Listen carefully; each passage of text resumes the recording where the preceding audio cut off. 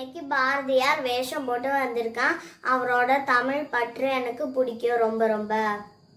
நான் தான் பாரதியார். என்னை மீசை கவிஞர் என்று அழைப்பார்கள். என்னை முண்டாசு கவிஞர் என்று அழைப்பார்கள். நான் டிசம்பர் பதினொன்னாம் தேதி எட்டயபுரத்தில் பிறந்தேன். என் அப்பா பேர் சின்னசாமி என் அம்மா பேர் லக்ஷ்மி. நான் படிக்கும்போது கவிதை எழுதுவேன். குழந்தைங்க எப்படி இருக்கணும்னு நான் பாட்டு பாடி காமிக்கிறேன். ஓடி விளையாடு பாப்பா. நீ ஓய்ந்திருக்க ஆகாது பாப்பா. ஓடி விளையாடு பாப்பா.